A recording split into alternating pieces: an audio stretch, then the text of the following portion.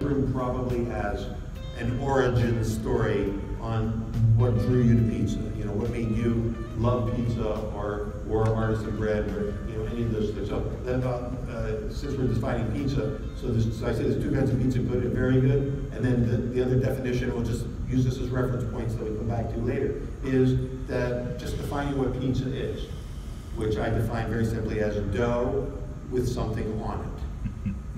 A sandwich is dough with something in it. But, and so they're very similar, they're kissing cousins, you know? But really, that's all pizza is, is dough with something on it.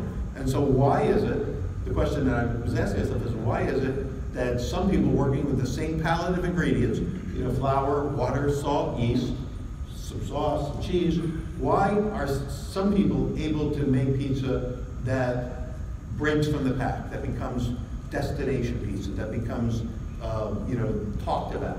As opposed to all the other good pizza that's out there, because all pizza, unless you burn it, unless you screw it up big time, is still good. Dough with something on it works. It's, it's the perfect flavor delivery system, and in the end, that's why people eat. They eat for flavor. And nothing delivers flavor like dough with something on it, or dough with something in it. I mean, a grilled cheese sandwich is just a variation of a pizza when you think about it in those terms. So, and it works, it's satisfying, and there's a lot of reasons why it's satisfying, but um, so the question was, okay, why, what is it that differentiates it? And and then we'll, we'll, talk a little bit about that.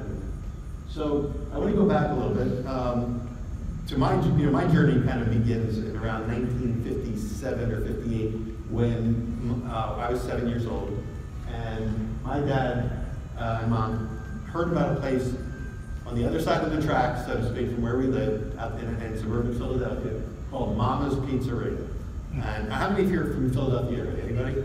A few of you? So you may or may not know it's still there. It's on Belmont Avenue. Uh, but it wasn't at that time. It was in Manayunk, which, which before Manayunk was gentrified and turned into a little restaurant row, was a very tough neighborhood. And it was in this old, you know, building. This is like a 1950s type pizzeria. And it was owned by uh, husband and wife, Paul and Mary Castellucci. Um, who we got to know because about once every week or every two weeks, my folks as a treat would take us to Mama's Pizzeria because we loved their pizza. And it was new pizza it was kind of new to everybody back then. Philadelphia is not like New York where there's a pizzeria on every corner, certainly not back then. It was just coming into its own.